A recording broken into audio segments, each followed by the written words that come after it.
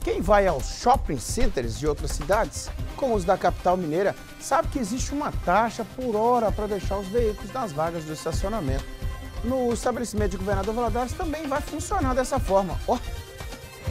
Ah, haverá cobrança para deixar carros e motos. Os valores ainda não foram definidos. E aí, ó. Algumas pessoas que precisarem utilizar o estacionamento do shopping de Governador Valadares terão que pagar.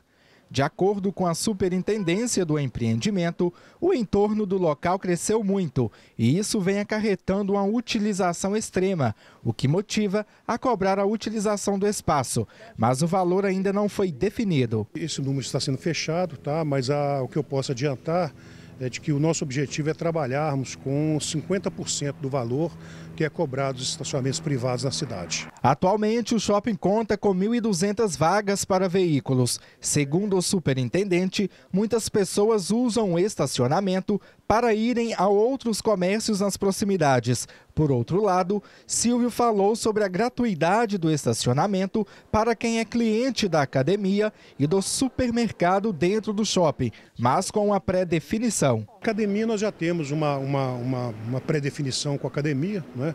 Uh, todos os alunos terão duas horas por dia para treinar de forma gratuita. Né? Então, isso também será controlado tecnologicamente. Né? Eles terão lá um totem é, na entrada da academia, onde farão a validação dos seus tickets.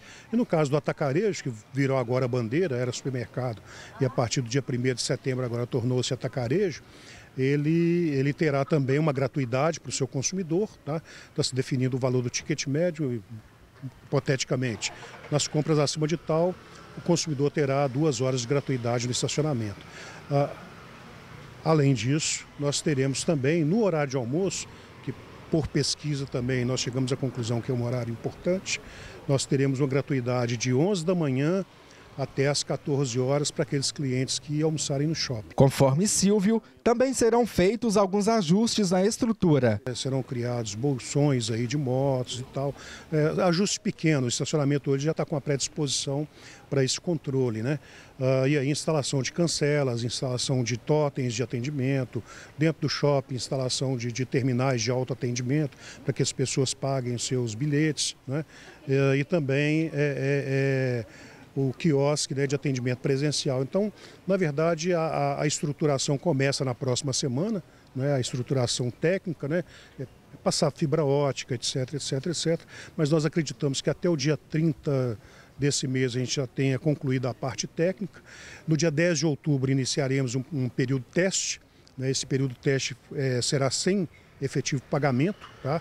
do dia 10 de outubro até o dia 30 de outubro, que é exatamente aquele período para a pessoa se habituar à retirada do ticket, à validação do ticket nos totens de autoatendimento e até mesmo no, no balcão presencial e efetivamente a partir do dia 1 de novembro a gente passa a cobrar. O Ednei é lojista. A loja dele foi revitalizada. Ele também observa o crescimento. A gente já está no shopping já há há mais de 20 anos. A gente tem alguns, dois negócios no, dentro do, do, empreendimento de ver shopping, então a gente acredita no negócio shopping, a gente acredita na cidade de Governador Valadares, assim, é uma realidade que acolheu a gente muito bem.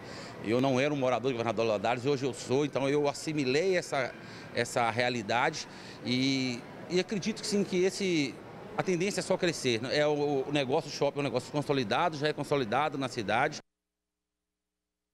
É, vamos aguardar as cenas dos próximos capítulos, né? Só não vale venda, venda casada, né? É, o código proíbe isso, Código de Defesa do Consumidor.